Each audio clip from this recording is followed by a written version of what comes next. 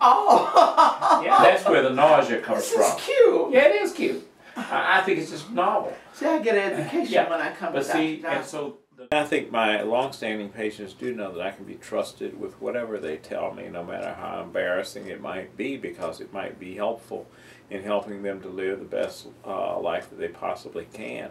It was awful, Dr. Johnson. I didn't, but you got the lab work there that was- that, that uh, was done.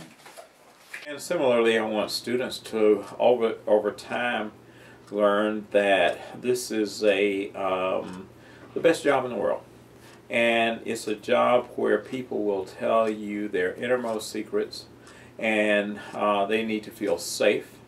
They need to feel that I will honor their trust and I will protect them uh, in any way I can. I want you between now and then to quit smoking entirely. Okay, this is what I want you to say. I will give it my best effort. I will give it my best effort. And I will pray twice daily and ask God to take the taste of cigarettes out of my mouth. Say it. I will pray to God twice a day to take the taste of cigarettes out of my mouth. Thank you. That's all I need to hear about that.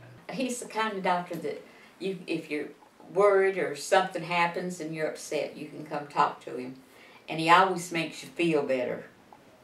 The laughing and going on. we enjoy. but he's really a good doctor. Sometimes I actually feel like I should be available 24 hours a day, seven days a week. And I think from the very beginning, it's always been that feeling that maybe I would do something wrong, or that it wouldn't be enough, or that it wouldn't be good enough. Of course, I've come to realize that it's really not mine after all, it's God's. I'm a tool.